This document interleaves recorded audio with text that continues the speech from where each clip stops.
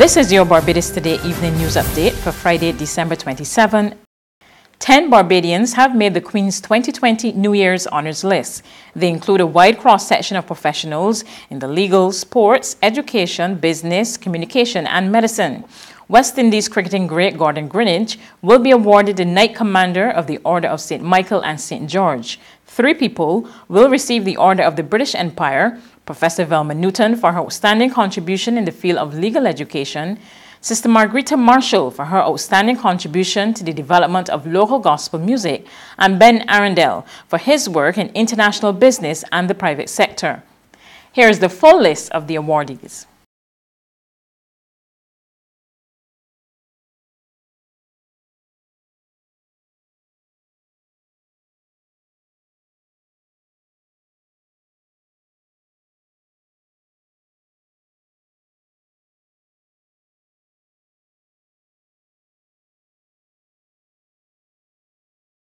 All is set for a grand opening of We Gatherin' 2020 in the parish of St. Lucy on January 1.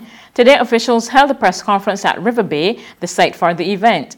Coordinator of We Gatherin' 2020, Selma Green says the event will yield big benefits for the island, stressing that it is intended to deepen the connection between Barbados and its diaspora.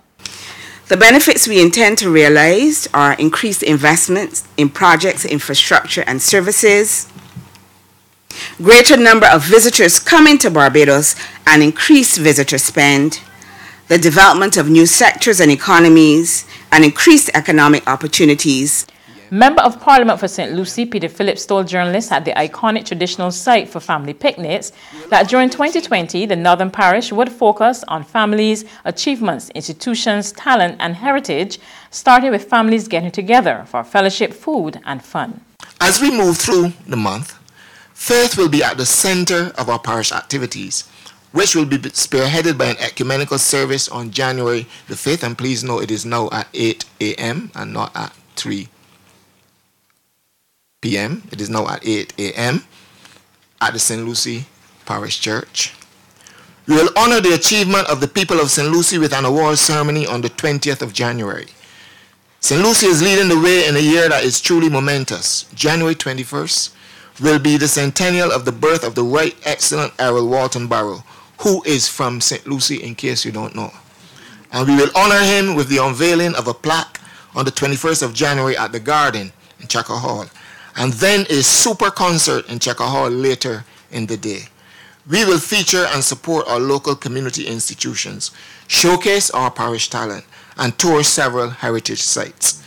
Meanwhile, Director of Marketing at the Barbados Tourism Marketing Inc., Robert Chase says We Gatherin' is expected to attract even more tourists to the island. He says every effort is now being made to ensure there's adequate airlift. The uh, task that we have at hand is to make sure that we have adequate airlift so that we do not end up crowding out our regular visitors and rather simply see a substitution or a cannibalization of our regular traveler um, with the diaspora traveler in the summer period because that can be a time when, particularly summertime, um, when the number of seats available and the cost of seats can be a challenge with our partners. The critical situation here is for us to convince the diaspora to book early the more we can get them to book earlier, the more our partners see that activity on board in terms of the demand for it, the greater opportunity there is for us to then uh, convince them to add the seats that we require to achieve the objective. In sports, England-based sportswear company Castore will become the official team kit partner for all representative West Indies teams after signing a three-year deal with Cricket West Indies. The brand partnership will make its debut next May when West Indies women take on South Africa in a one-day international series. There's regional and international news after this short break. Festive Friday at the Bridgetown Night Market at Pelican Craft Center. Kick off the weekend this Friday from 4 p.m. to midnight with loads of food, drinks, and entertainment. Get ready for Crop Over with the Rhythm Roots Street Parade. Party like it's Kadooment Day on the street around Pelican Village with costume reveler, music, and more. It's Festive Friday. It's Festive Friday at the Bridgetown Night Market at Pelican Village Center from 4 p.m. to midnight. Admission free.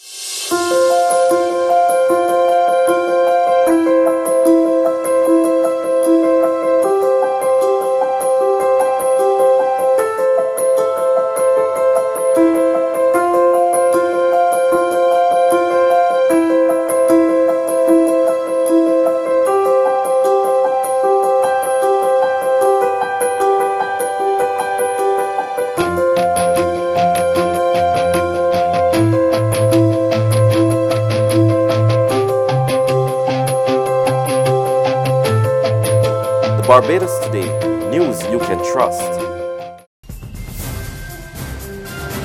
On the regional scene in Jamaica, things are improving for homeless people across the corporate area. At a recent Christmas treat, Chairman of the St. Anne's and Municipal Corporation, Delroy Williams, gave an update on efforts made to assist the vulnerable group. For past months, there have been growing concern about the safety and the provision of assistance for the homeless. This homeless man sums up his experiences. It's rough, you know. It's rough. Because when you don't have anything and you don't have a work or a job or whatever, it be difficult for you. But according to Mayor of Kingston, Delroy Williams, there have been significant improvements over the last year. At a Christmas feeding program at the Mary Atkins Night Shelter on Wednesday, Mr. Williams listed some of those changes. When we were here last year, you would remember that we had about we were we had accommodation for approximately 80 persons. Um, today we are up to 102, and so that is an is an improvement.